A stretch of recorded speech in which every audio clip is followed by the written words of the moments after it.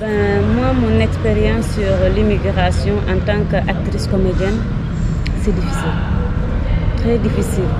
Parce que eux, euh, au départ, ils croyaient qu'en partant, ils vont avoir du boulot, ils vont changer leur vie. Euh, par contre, il y en a d'autres qui ont la chance, d'autres qui n'en ont pas. Ben, du coup, ils reviennent. À leur retour, arrivé au Sénégal, des fois, on les pointe du doigt en disant qu'il est parti, il est revenu, il n'a rien du tout. Je suis restée huit mois avec eux en travaillant comme comédienne et aussi. Mais quand ils, expliquent leur expérience, c'est émouvant. C'est émouvant.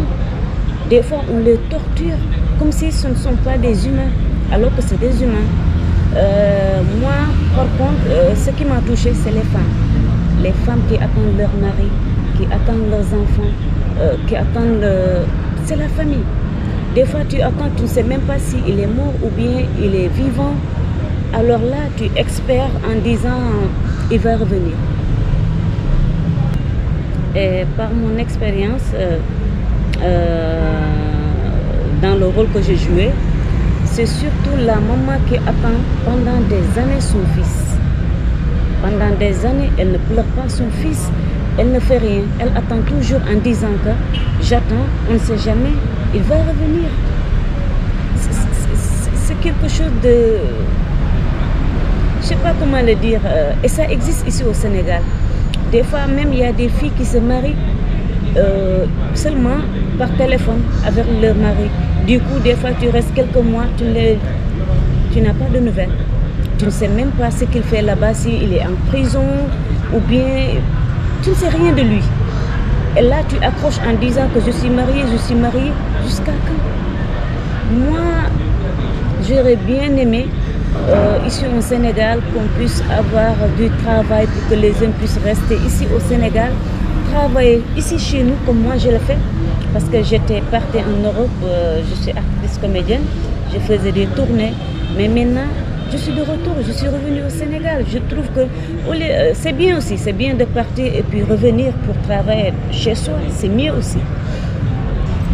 Et là, on aurait bien aimé travailler avec des ONG, c'est mieux.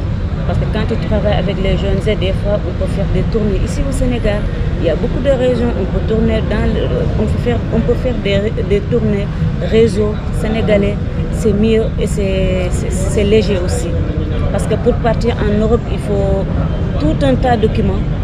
Aller à, Dakar, dans le capital, pour chercher euh, le visa, les documents, tout et tout. Et c'est chiant aussi, excusez-moi du terme, mais c'est fatigant. C'est pourquoi les jeunes préfèrent aller par la route ou bien par la mer. Euh, moi, j'ai la chance euh, d'avoir.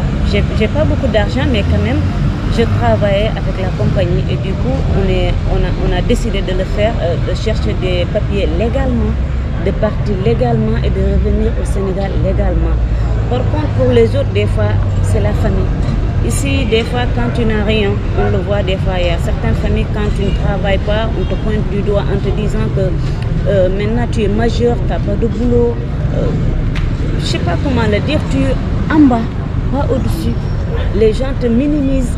Du coup, les jeunes préfèrent, bon, comme je n'ai pas les moyens de, euh, de chercher des papiers légalement, ben, je vais voir là-bas, peut-être qu'en prenant le pirogue, ça va être facile ou bien en partant par, euh, par la voie terrestre, c'est mieux, c'est moins cher aussi. Ben, là-bas, moi, je ne pense pas à ça. Parce que là, il y a des risques. Il y a des risques. Pour moi, je dirais aux jeunes, euh, je ne sais pas comment le dire, mais j'aurais bien aimé qu'ils croient à Dieu et qu'ils travaillent ici au Sénégal. En étant enfant, on peut sensibiliser beaucoup. On peut sensibiliser comme moi. Là, je suis, je sensibilise les jeunes en leur disant c'est mieux de rester chez ses choix ou bien de partir légalement que de prendre la route ou bien euh, les pirogues.